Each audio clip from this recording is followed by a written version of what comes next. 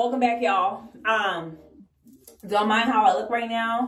I just came back from the gym, had a little workout, but I do love my progress.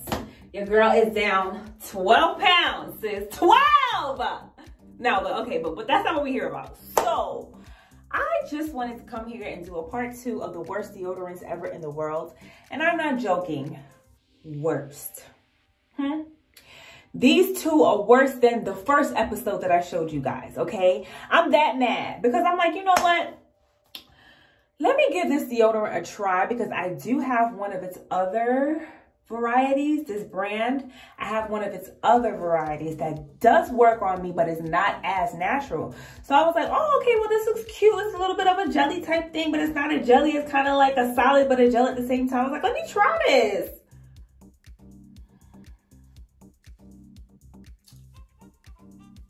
No. Hmm? No. Somebody call Dove and tell me I want my money back. Hmm?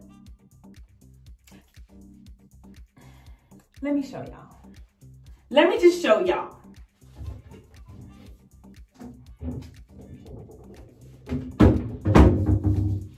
This. A joke. A joke. Like, and you know, in my other episode where I was talking about, oh, you could, you know, you can repurpose it. No. These are trash. Okay. I can't even wear it at the in the nighttime at bedtime because by the time I get out of the shower, put it underneath my arms and lay in the bed, it's like I did an eight hour workout. Like, what I'm gonna do with this, sis? What I'm gonna do with this?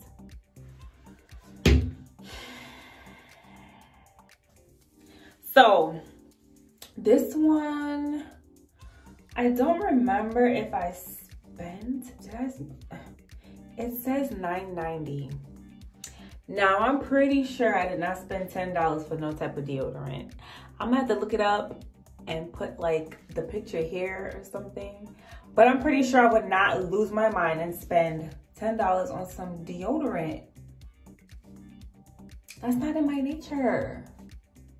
Uh, I don't know. I'm going to look it up for real. But anyway, um, this is the 0%. Look, they're both covered up. So I have to like... Okay, so this is called the 0% deodorant from Dove, right?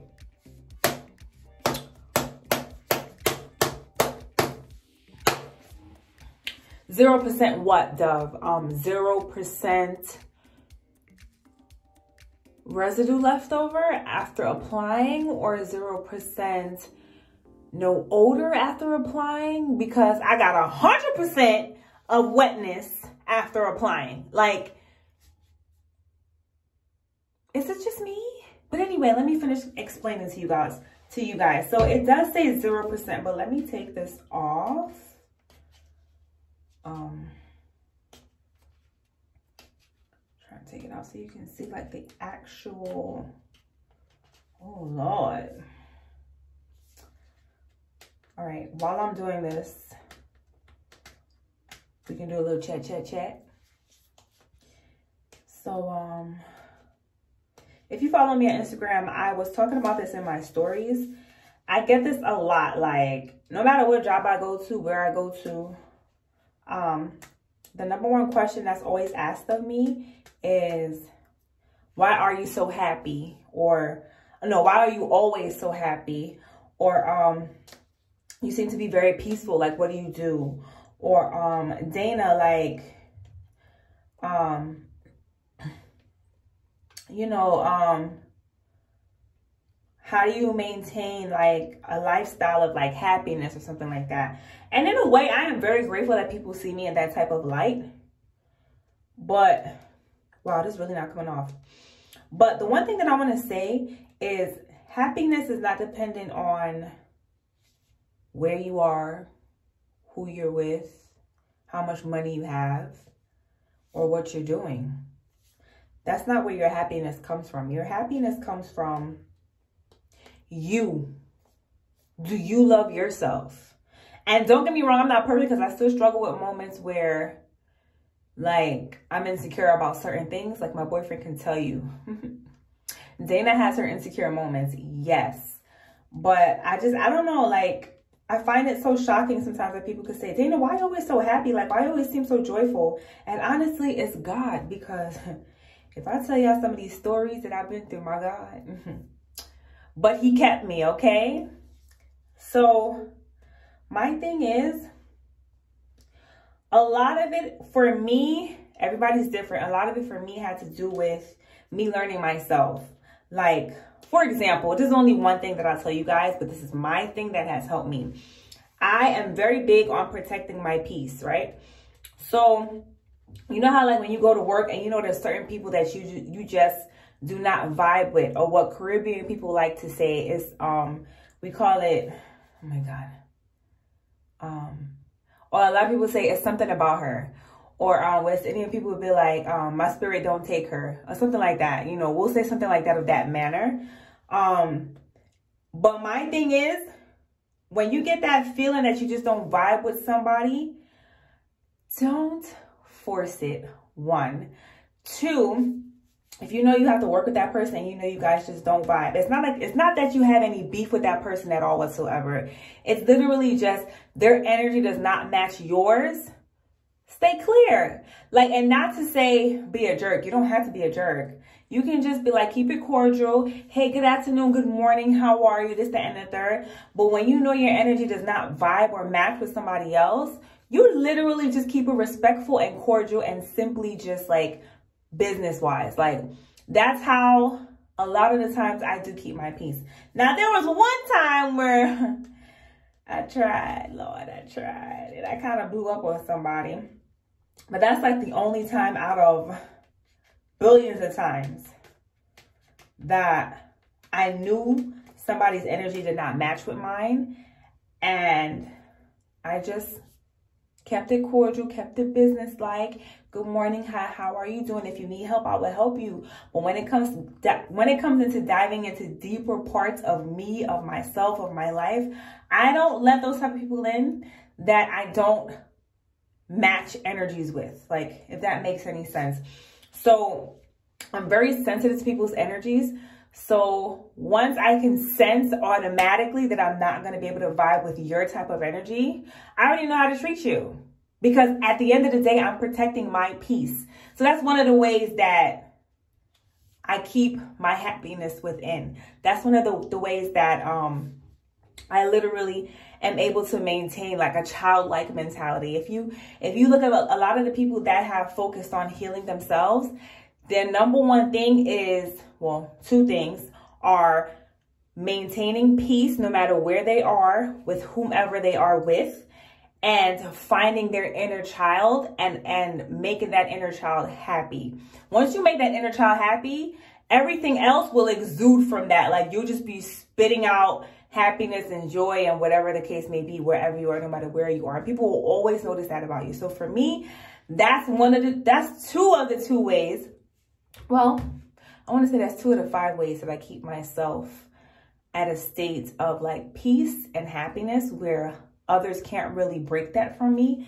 But anyway, let's get back into the deodorant because it's getting too long. So I cannot take this off, but I will show you guys like how it looks. So underneath this sticker, it says 0%, right? So um, this is lavender and vanilla scent. Now, I'll give Dove its props. It does smell really, really, really good. However, like, dog, I'm not, and, and you know what me, I do not like to waste product. If you see in my first video, episode one of worst deodorants, I hate to waste product. But this is so bad that I cannot use it for anything at all whatsoever. Like I would have to literally save this for like when my best friends come over and they fly over and let's say they forgot their deodorant. Be like, girl, I got you. I got deodorant here. Use this, huh? Like something like that. But like I can't even use I can't use this for nothing. Not for the gym, not for the grocery store, not to get out the get out the shower and get into bed, not to go to work with. Like not I can't use this for nothing. Nothing. Because like when it applies, it's like is garbage. It's not concealing any odor.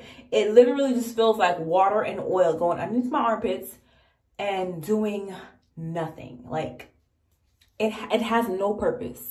This is what I'm saying. So this is what it looks like. This is what, you can see the gloss. You can even see the gloss from it, right? And then you go like this, sis. Sis, you see, why? Dove, why? Why, Dove? Why? Why? Why? Why?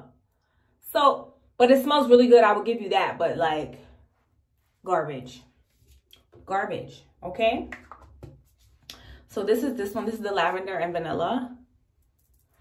And then same thing with this one. This one is for sensitive skin, right? Same idea. I got it from CVS as you can tell. It's covering up the 0%, but it ain't covering none. Okay? Smells good as well. I put it on my nose.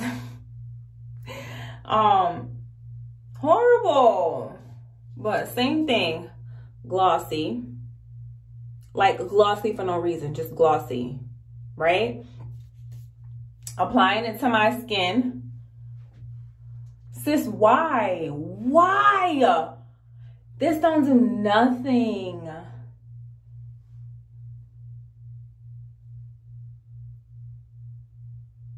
what we doing? It's like, it's like they just put a whole bunch of oil, mixed it in some water, found a way to solidify it and said, boom, a deodorant. Let's sell it to the people. Fail. Dove. Dove. We need to talk. Okay? So um, in my next video, I'm going to show you guys my favorite deodorants that actually do work with no problems. Like your girl is secure when I wear my favorite deodorants. Some are absolutely natural. And then there's like two of them that is not as natural. One of them is a Dove one, but that Dove one actually works. This crap, I don't even know what the difference is. I guess because it says 0%.